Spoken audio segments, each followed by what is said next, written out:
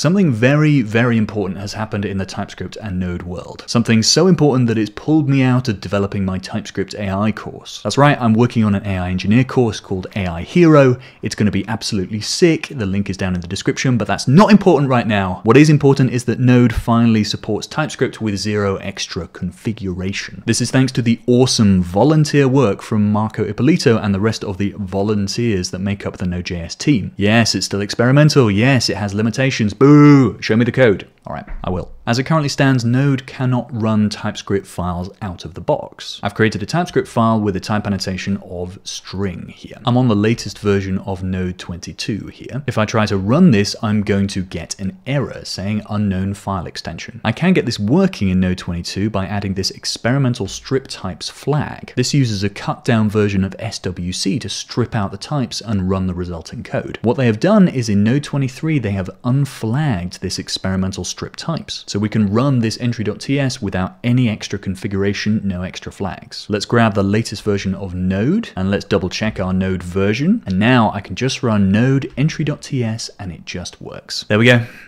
It has happened. You probably have a lot of extra follow-up questions like, does it type check your files? What should my TS config look like? Does it support enums and namespaces? And will it come to previous versions of Node? I can't update this YouTube video in real time, so I'm keeping this article, which is going to be the FAQ for all of your questions. It currently has answers to all of those questions and any more that will come up in this comment section. So again, go below if you want any answers to any of these questions. But I want to talk for a second about what this means for Node. This is a huge huge step forward in the Node ecosystem. A lot of folks on YouTube talk about Deno and Bun being Node killers. It's a very attractive way to title a YouTube video for sure. But the reality is that the more horses run in the race, the faster they all run. Node is the incumbent. It is the most popular JavaScript server runtime, and it's run by a team of volunteers. Node will move slower than Deno and Bun because they don't have people working on it full time. And having sponsored contributors siloed off in different parts of the world is fundamentally different to having people in San Francisco burning out code. So yeah, Node is an oil tanker. It is slow to turn, but it is turning. And shipping TypeScript support is one of the big differentiators between Node,